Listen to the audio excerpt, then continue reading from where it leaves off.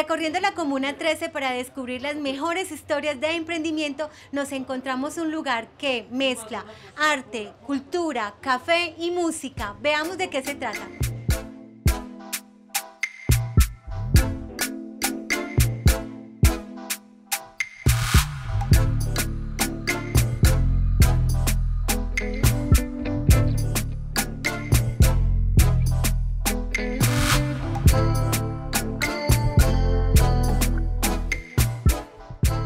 Bueno, este lugar nació más o menos hace como cuatro años. Empezamos en la parte de afuera con una carpita. Empezamos, nació por medio de Chota, que es el artista que trabajamos auxiliar operativos acá en la zona de las escalas eléctricas. Entonces él decidió comentarme a mí de montar un negocio de la venta de camisas con las obras de él. Empezamos en la parte de afuera con una carpita a vender camisas y postales. Después decidimos vender también cuadros de las obras de él. Ahí fue poco a poco creciendo el negocio. después tuvimos la posibilidad de la señora de esta casa anteriormente de que nos eh, alquilara un espacio en la parte de, de la casa que quedaba al fondo. Y ahí empezamos como a crecer el negocio en la parte de las camisas. Después, con otro amigo, John, eh, decidieron asociarse entre Chota también, crecer el café. Y ahí empezó a crecer poco a poco lo que es el café, las camisas.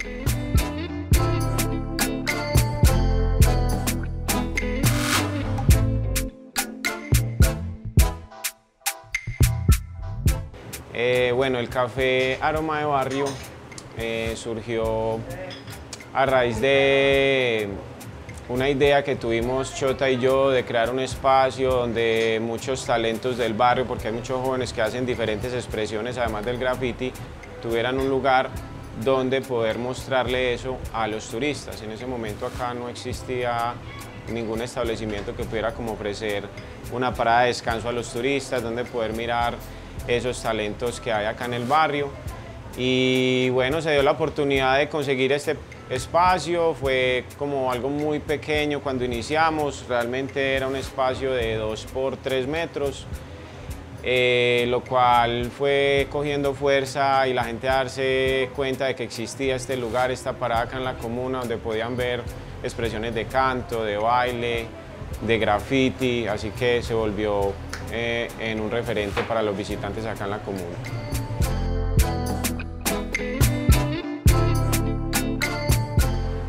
Bueno, este proceso, este camino en la construcción de, de, este lugar, de este espacio, hemos tenido, pues, como todos los negocios, momentos donde emprender no es fácil, iniciar un proyecto eh, para nosotros que no teníamos ningún capital fue como algo un poco difícil.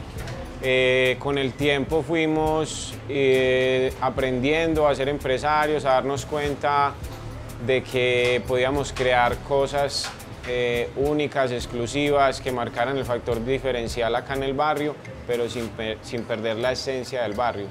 Entonces ha sido un camino con muchas alegrías, con muchos esfuerzos, con mucha lucha, como se dice por ahí, eh, con las uñas pero sin mugre.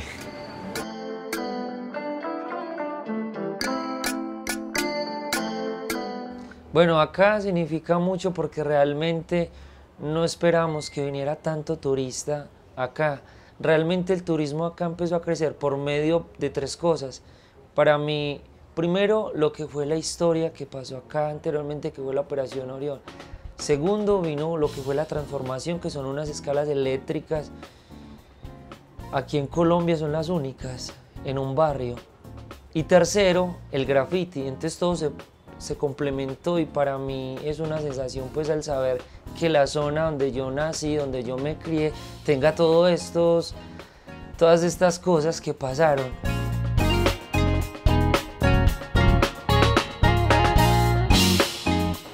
Bueno, entiendo que estos tiempos son muy difíciles para todos los emprendedores, más que todos los pequeños como nosotros que estamos iniciando y llevamos alrededor de unos pocos años eh, en esta dinámica. Lo que yo les quiero decir es que siempre hay que tener primero mucho convencimiento de lo que estamos haciendo, de lo propio, de creernos de que nuestro producto, nuestro servicio es muy importante y lo segundo que también les recomiendo es darle la seriedad, la continuidad. Los negocios siempre se necesitan que estar refrescando, aireando. Entonces a través de esta pandemia aprendamos a mirar qué nos faltaba, qué podemos mejorar. Así sea poco a poco la economía se va dinamizando nuevamente y vamos ya aprendiendo de todas estas cosas que se van presentando.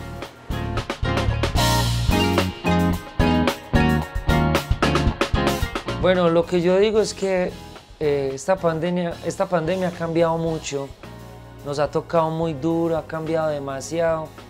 El consejo que les doy es pues de seguir. Si hay que hacer cosas nuevas, hay que hacerlas, pero hay que luchar, hay que sobrevivir. Y obviamente positivamente y dándole gracias a Dios pues que aún estamos vivos y tenemos la fuerza de, luchar y seguir emprendiendo, seguir haciendo cosas nuevas.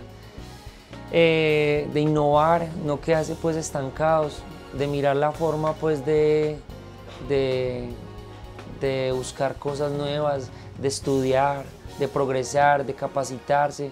Pues ese es el consejo que les doy, de seguir luchando y más que todo buscar sus sueños.